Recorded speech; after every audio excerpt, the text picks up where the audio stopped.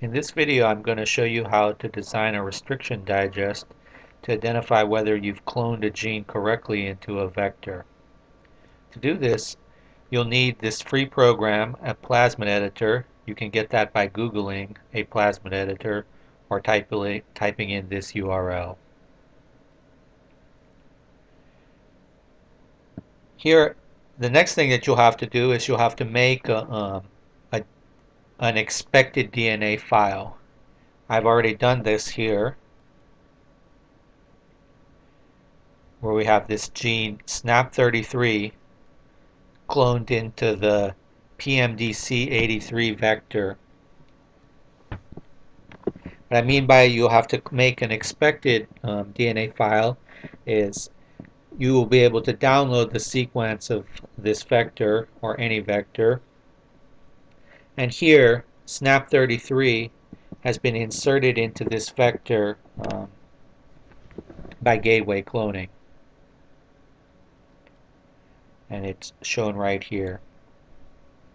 This DNA file is um, color coded with different features. We can see all the features by going to list features. And you can see here that it has 2 times 35S promoter, um, a NOS terminator,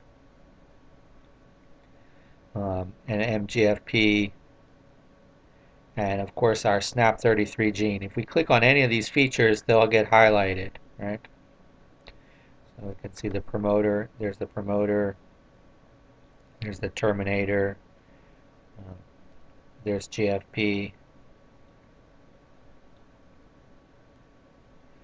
Anyway, so after we've pasted in our sequence of SNAP33, then we want to we want to design a restriction digest that will help us identify whether our cloning strategy worked and we have the, the right vector. To do this, we'll unselect everything and we'll go to uh, enzymes and we'll say view um, uh, graphic map plus unique enzyme cutting sites. And here we get another map of the circular PMDC83 vector with SNAP33 in it. And right here, this, this little green area here, that's our SNAP33. Again, if I click it, you'll see that the sequence behind there gets highlighted. And you'll also notice there's a number of restriction sites um, that are um, labeled on this circular map. So in order to in order to get a meaningful restriction digest, we could use a whole lot of different possible enzymes, but one of the easy ways to do do it is to just pick enzymes that cut on the um, outside of your of the piece of DNA that you inserted in there. And then the second rule the second rule is that when possible use the more common um, heavily used enzymes because they're more likely to be in your lab. They're often cheaper and they often do a much better job of cutting. Um, they're, you know, they can be more stable over a longer time period. Here anyway, we can see that on one end of our SNAP33 we have at least three different enzymes here um, that appear to be um, on the edge um, or on, on, one side of the SNAP33 like before the beginning. And we can we can get a, a better idea whether where exactly they are by double clicking this. So if I double click BAM H1 for example, now the cursor on this um, uh, sequence editor is exactly where that uh, cut site is. We can see this GGATCC. So we can see that that enzyme is going to cut um, on one end of our SNAP33.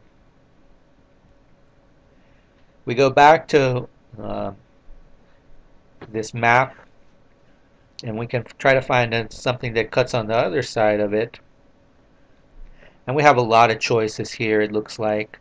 It looks like anything past the past the green arrow we could use. Um, so we have all of all of these different enzymes here. Now, NCO1 is a fairly common enzyme. Um, not all of these are really common enzymes. And then right here we have um, past the GFP, we have an EcoR1 site. EcoR1 is of course a really really common enzyme and pretty much every lab has that. So we could we could probably do a diagnostic um, cut of our vector with BAMH1 and EcoR1 and that would cut out this everything in between this piece of T um, everything in between here. So let's do that. Let's see what would happen. Let's let's see what ha would happen if we ran a gel with this with the correct vector cut with BAM H1 and EcoR1. So now we can go to enzymes again and go to enzyme selector and here we have a list of you know the commonly used enzymes in this enzyme file. Um, and let's select BAMH1 and let's select EcoR1 and you can see they're both labeled that they only cut once.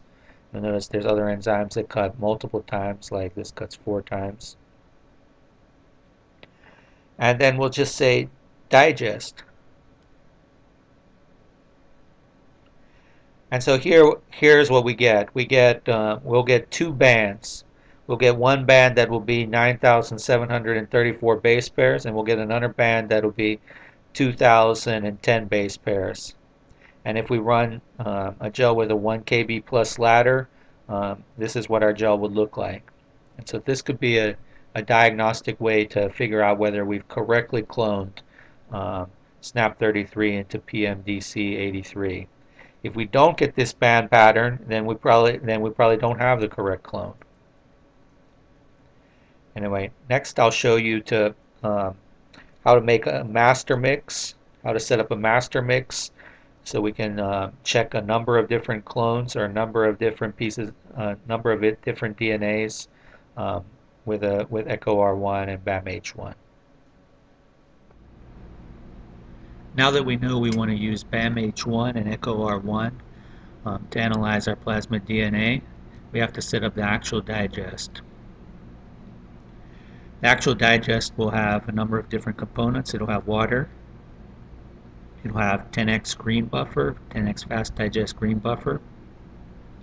You can have other buffers as well, but I highly recommend when possible use 10x fast digest green buffer because it simplifies things.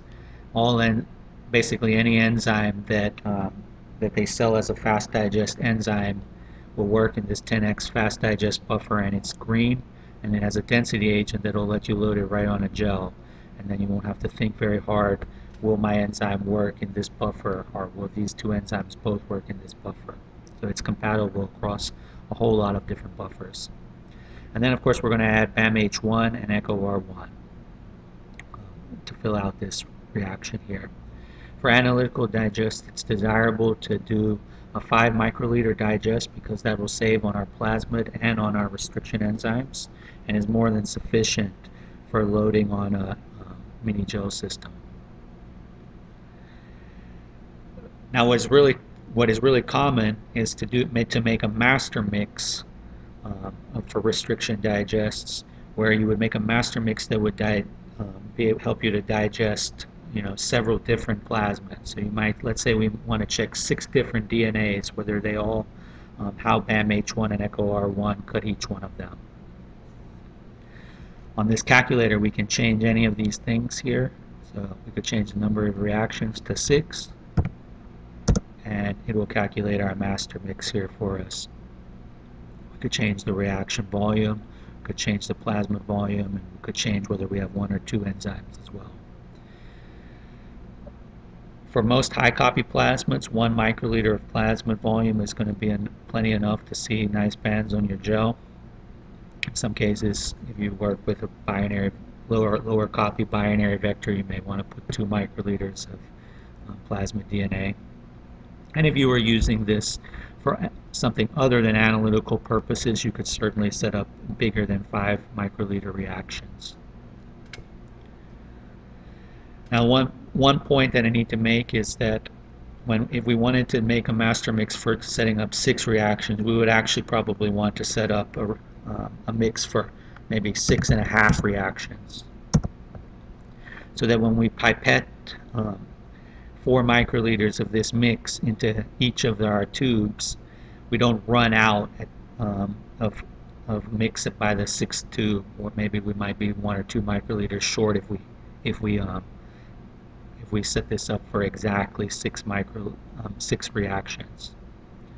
All right, now that we know what we're going to uh, pipette, I'm gonna next I'm going to show you on the bench um, how to actually set up this master mix and how to digest our DNA.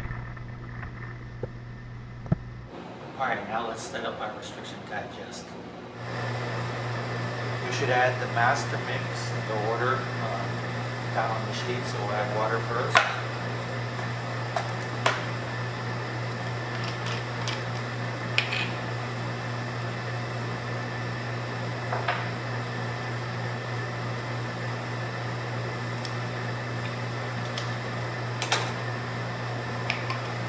Followed by a green buffer.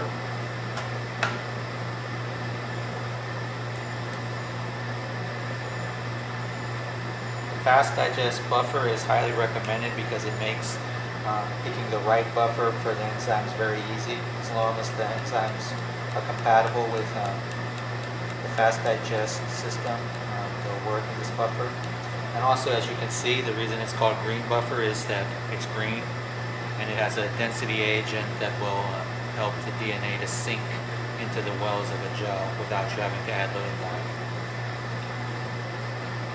I'm going to bring the enzymes. They're kept at minus 20.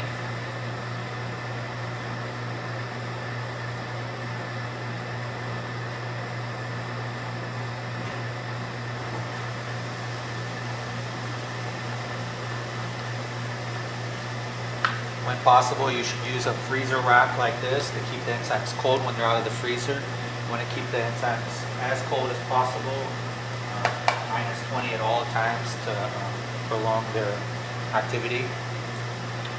When stored properly, enzymes can last up to 10 years past their expiration date. You also want to use the smaller pipette, the, the pipette, the 10 microliter pipettes tips, because they're much skinnier and will have less enzymes sticking on the outside of them, since the enzymes have glycerol. Those are EcoR1 uh, BAM H1.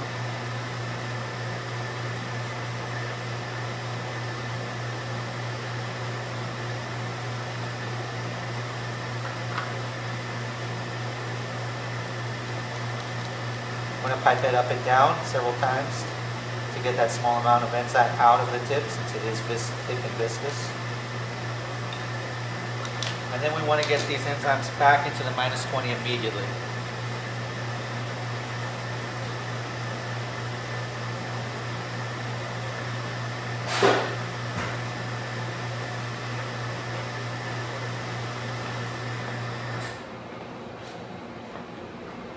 Now I'm going to uh, briefly mix this um, master mix by uh, vortexing on speed 5, about halfway in the vortexer.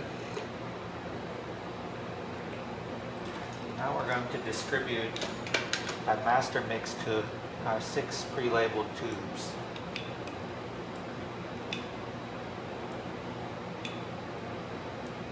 And pipetting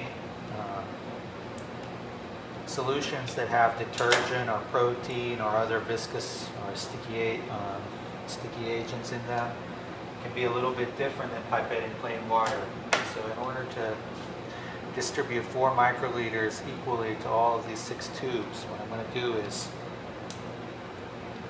I'm going to pipette a little bit of our mix out one time, and I'm going to pipette it back to the first stop I'm going to have just the tiniest amount of enzyme uh, master mix left in the tip.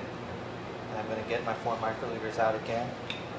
and go to my first tube. I'm going to pipette the 4 microliters to the first stop only. And then repeat this.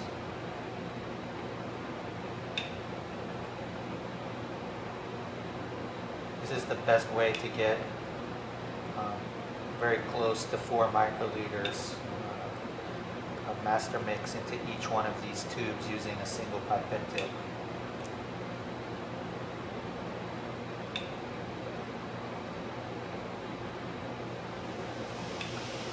It's important also not to touch the inside of the tube or the inside of the cap with your fingers, because they might have some DNases or other contaminants that may mess up or interfere with this assay.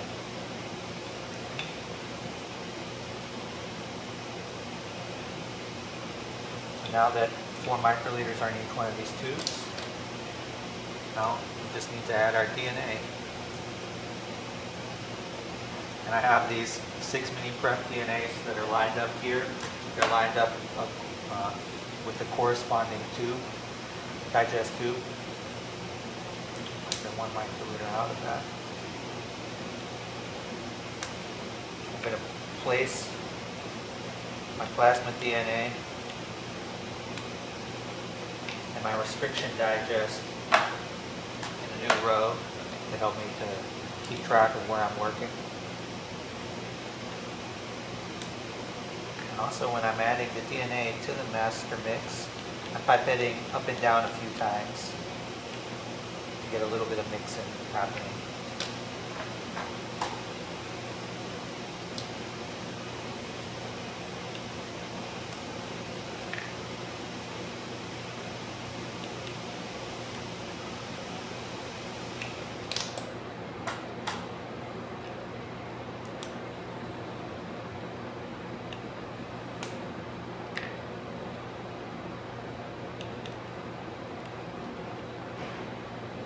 making a master mix, as you can see, makes it pretty easy to do six um, six different digests. You could do 10, 20 even, with minimal effort.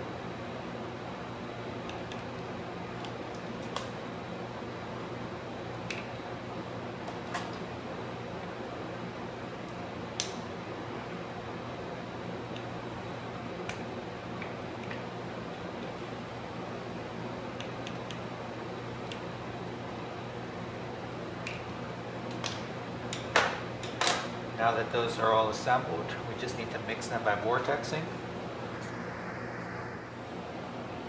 Set our vortexer on half speed, so about five. I'm just going to give it a little, a little buzz so that uh, you see the DNA and the digest mixing. See the swirling action. It's always important to mix your DNA. Um, it's basically important to mix any solution. Otherwise, if the enzymes are not touching, the, actually touching the DNA, they can't digest it.